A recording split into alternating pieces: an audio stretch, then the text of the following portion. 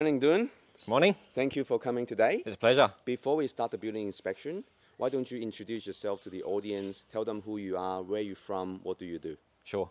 So my name is Dung. I'm a local uh, building inspector based in Hurstville here, and I'm part of a, uh, the Jim's building inspection group. My background is as an architect, so uh, something slightly different to most of the inspector out there. First question. Sure.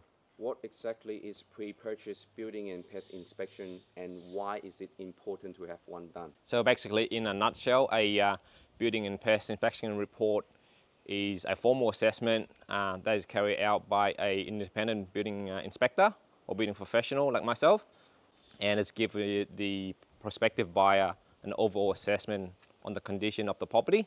Uh, why is it important to have one? So basically when a buyer walk through a property, usually they only have 10, 15 minutes to walk through and they'll only give you the time to walk through the commonly accessible area to pretty much everyone. Uh, where someone like myself walk through property, we'll be able to walk through all the hidden space like the subfloor, the roof cavity. Uh, so give you a more thorough assessment on the property. But more importantly, the bottom line with the building and timber pest inspection report will give you able to identify any major uh, defect or issue or any termite damage that potentially could be a pitfall if the buyer um, proceed ahead with the property, because that could potentially set you uh, back financially that you might, might not have the fund for. Question number two. What does your inspection service cover and are there any limitations? So pretty much with a building and timber pest, we basically cover for two components um, as the report suggests. There's a building component and then a timber pest component. So with the building component, we are looking to identify any major or minor or just, you know, uh, safety hazard with the building component or building structure of the property. And with the timber pest report component, we're looking for any evidence of active termite activity or any uh, previous or past damage that uh, occurred at the property. In terms of limitation, obviously as a building inspector, we are not licensed trade like electrician or plumber. So we can visually inspect those area and um, note them down on visual assessment, but we cannot give an assessment on any further than that in terms of whether they are correctly uh, installed and whatnot. So those are the limitations in terms of our report. And also we don't uh, go into things like compliance and on building structure, what have been built and so on and so forth. Amazing. Question three. How do you report on the findings? What items are included in the report? So basically, once we walk through the property, I said on the building component, we once we identify any issue or defects, we uh, classify them into the level of severity. Um, so you start with um, a safety hazard where it would identify anything we deem that unsafe for the occupant or the um, owner, and then we classify it unsafe or as a safety hazard, and then um, anything that major or we deem that to be a major defect, obviously we report accordingly. So then then you got minor and so on and so forth. How do you report and what items are included? in So basically with the item included, obviously with the building, we're generally looking at the building structure. So any furnishing or any, for example, floor cover that might not be included because that's, you know, part of the furnishing.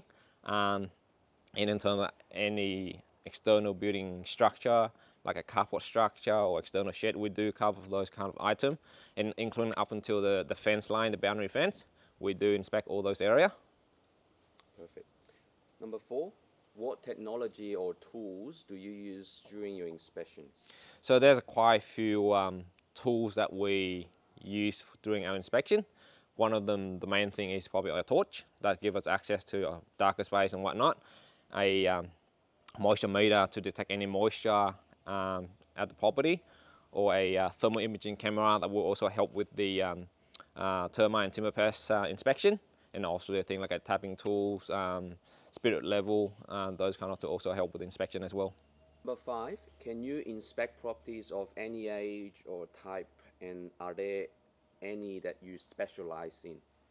Um, so pretty much in terms of inspection, uh, it's a bit cliche, but we pretty much inspect anything from big to small.